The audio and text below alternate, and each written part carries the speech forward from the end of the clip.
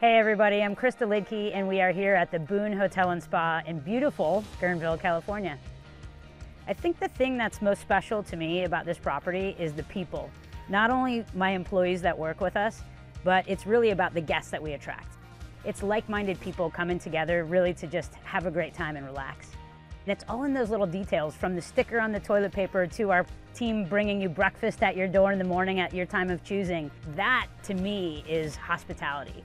It's my life. It's what I love to do. And when you find something that you love, and it can also be your work, it's a pretty magical thing.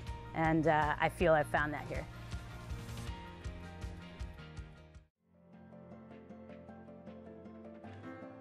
My name is Tom Birdsall. I'm a co-owner of the Hampton Inn Suites here in Windsor. So I think Sonoma County is fortunate in having so many different attractions. So depending on what your interests are, you know, we have those things. And I think luckily the, the county is being thoughtful about trying to do it in a sustainable way because places get overrun with people visiting and that that doesn't create a good environment. So I think there's a thoughtful approach to having good lodging properties and responsible owners What's exciting about being in hospitality, being in the hotel business, it's just a nice feeling to welcome people to your home area and help them have a great experience, whether they're here for business or for leisure, just to be able to help them have a great experience.